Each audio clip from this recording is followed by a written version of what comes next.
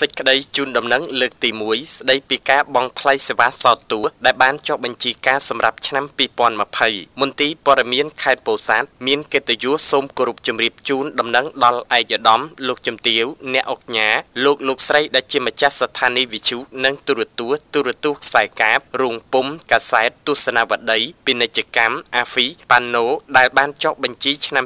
2020នៅក្នុងខេត្តពោធិ៍សាត់មេតាជ្រាបថាយោងតារាងឧបសម្ព័ន្ធនិងប្រកាសរួមលេខ1003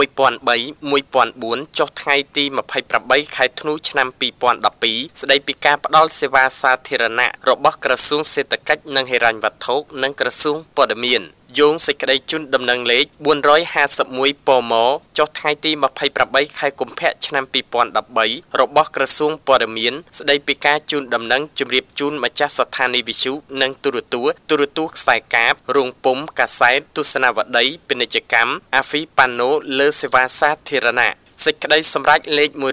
168ពមសសរចុះថ្ងៃទី24ខែមេសាឆ្នាំ2017របស់ក្រសួងព័ត៌មាន ស្តីពីការផ្ដល់សិទ្ធិពេញលេញជូនមន្ទីរព័ត៌មានរាជធានីខេត្ត ប្រធានមន្ទីរព័ត៌មានខេត្តពោធិ៍សាត់សូមជម្រាបជូនដំណឹងដល់ឯកឧត្តមលោកជំទាវអ្នកអុកញ៉ាលោកលោកស្រីជាម្ចាស់ស្ថានីយ៍វិទ្យុ FM ទូរទស្សន៍ទូរទស្សន៍ខ្សែកាបរោងពុំកាសែតទស្សនាវដ្តីអាហ្វីពាណិជ្ជកម្មប៉ាណូនៅខេត្តពោធិ៍សាត់ឲ្យបានជ្រាបថាចាប់ពីថ្ងៃទី3ខែសីហាឆ្នាំ